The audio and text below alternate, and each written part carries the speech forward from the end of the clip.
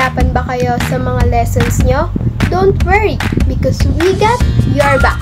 So grab your pens and take down notes because we're ready to hit the road in Youth VOX. For today, our lesson will be mixture. For me, mixture is everywhere. For example, your simple breakfast like oatmeal. It is a mixture because it contains two or more substances that are mixed together, like water, because even the purest water contains dissolved minerals and gases. You're right, we will talk about mixture. Are you ready to distinct and mix up different substances? If yes, then let's get started. What is mixture? Mixture is a material made of two or more different substances that are physically combined, in which the identities are retained and are mixed in the form of solutions, suspensions, and colloids. Let us know more about its three forms. Let's start with solution.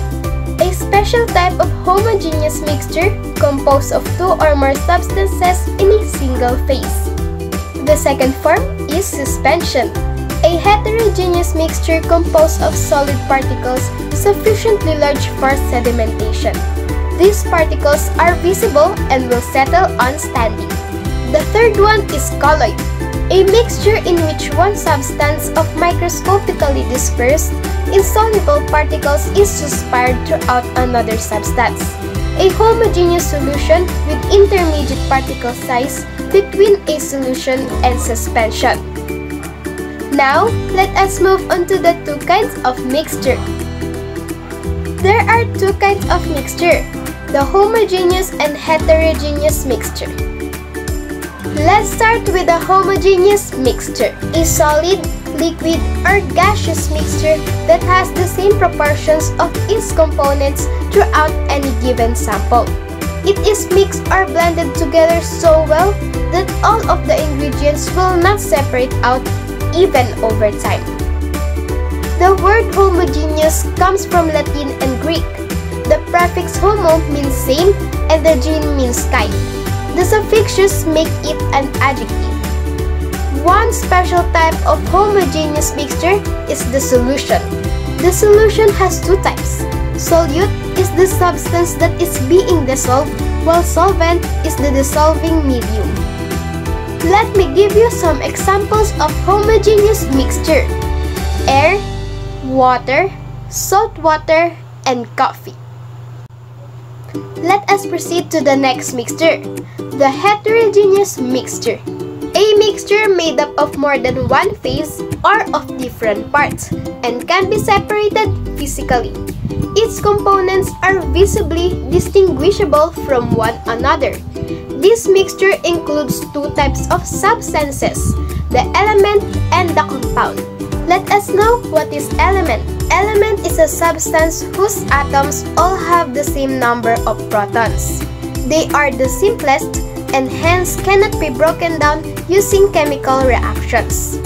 Element can only be changed into other elements using nuclear methods while the compound is a substance formed when two or more chemical elements are chemically bonded together. Here are some examples of heterogeneous mixture. Oil and water cannot be mixed. The oil phase is less dense than the water phase, and so the oil floats on the top of the water. Salad with lettuce, cheese, seeds, tomatoes, broccoli, and other vegetables. The foods can be distinguished from each other and can be separated easily. Bowl of oatmeal with raisins is a heterogeneous mixture. The raisins may be solid, but turn the bowl over and you will see the mixture most definitely acts like a liquid. Rocks in the sand at the beach are a heterogeneous mixture. Natural processes have mixed up sand, stones, shells, and even living things scattering them across the beach as a mixture. So now you know the different types of mixtures and its examples. Try to explore more. Check your food, your drinks, and wherever you are. You can find different mixtures. Isn't it exciting? And that's all for this video. Kaalaman ay pagyamanin upang ang kinabukas ay mapaghandaan natin. Sana ay may natutunan kayo. Paalam!